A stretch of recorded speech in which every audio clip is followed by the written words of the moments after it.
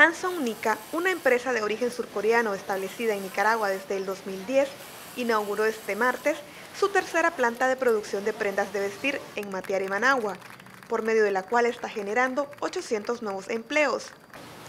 La empresa contaba con 3.553 plazas de trabajo hasta diciembre último. Este año, según el asesor presidencial para las inversiones Álvaro Baltodano, se espera que el sector de Zona Franca genere unos 10.000 empleos más en Nicaragua, hasta llegar a 120.000 plazas de trabajo en total.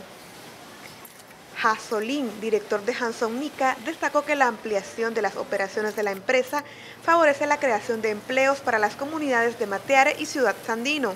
Hanson Nica es una de las principales exportadoras de prendas de vestir de Nicaragua. En 2015 exportó 43 millones de dólares.